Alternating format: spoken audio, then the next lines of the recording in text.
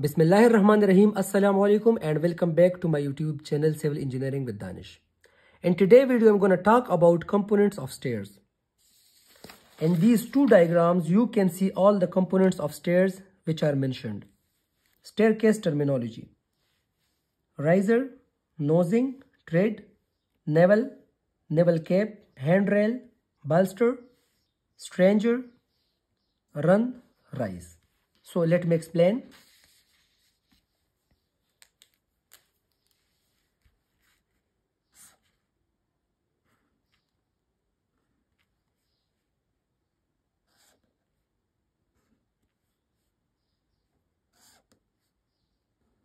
These are steps.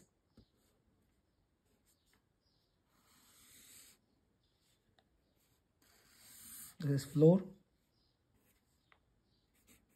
Angle of staircase.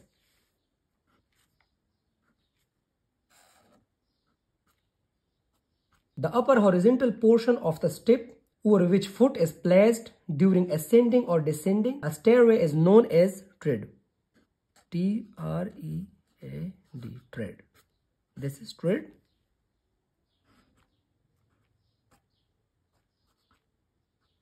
and the vertical member of the step is known as riser.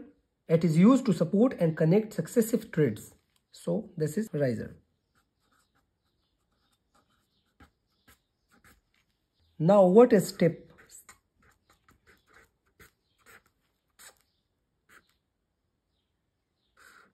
Step is the combination of tread and riser which permits ascent and descent from one floor to another. So this is step.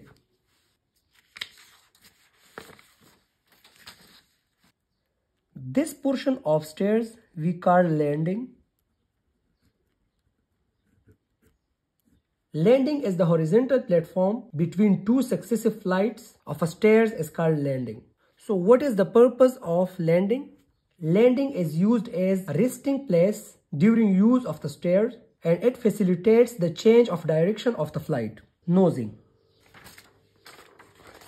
In this diagram you can see this is nosing. This is nosing. Nosing is the projection part of the tread beyond the face of riser and nosing is usually rounded to give good aesthetic effect and make staircase convenient and easy to use. This is handrail. Handrail is an inclined rail provided at convenient height over balustrades. The inclination of the rail is parallel to the slope of stair. These are balusters. It is an individual vertical members made of timber, metal or masonry and fixed between string and handrail to provide support to the handrail.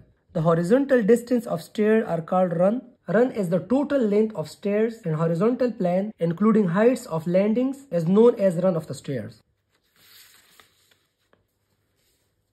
This is run. And this is rise.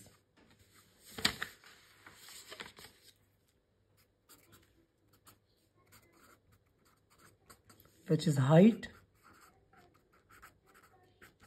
of stairs